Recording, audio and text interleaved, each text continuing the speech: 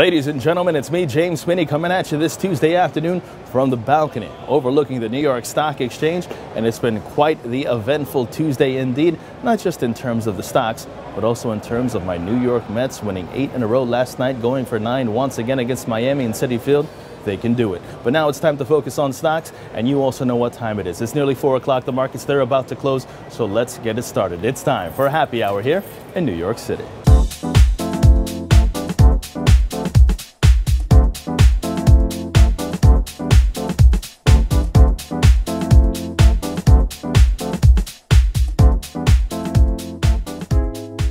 U.S. stocks trading higher this Tuesday afternoon as investors take in data ahead of the important Federal Reserve meeting that kicks off in just one day.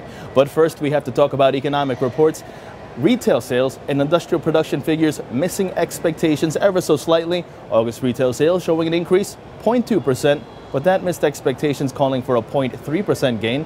We also had July business inventories up 0.1%, August industrial production showing a decline of 0.4%, and September U.S. Empire manufacturing coming in at negative 14.7 versus the previous month's read of negative 14.9. Now shifting focus over to Asia, the Bank of Japan holding its monetary policy steady at the end of its two-day policy meeting and still remaining optimistic about the domestic economy.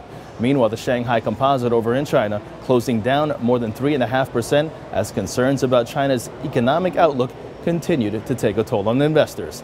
In addition, crude oil futures rising 56 cents to 44.56 a barrel over at the New York Mercantile Exchange. Gold falling a little around $3.75 to 11.04 a troy ounce in this afternoon's trading session. And with no major market moves expected ahead of the upcoming Fed meeting, you have yourself a session right behind me right now where two stocks have advanced for every decliner. Let's now take a look to see how the markets have been shaping up to close out this volatile, yet at the still, same time, still quiet trading session.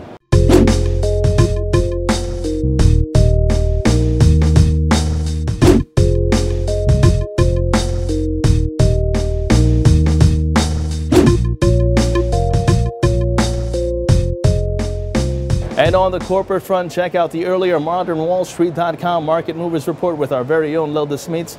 And it's time for an outro. Once again, the Mets pull away with another massive win last night in Citi Field. Another come from behind win. And here we go again. Can the Mets, can the Mets make it nine in a row? I think so. Super excited. And don't forget, we have a big announcement tomorrow from all of us here at modernwallstreet.com. If you've been following us on Facebook, you know exactly what that announcement is. So get ready to be even more excited. For modernwallstreet.com, I'm James Sweeney.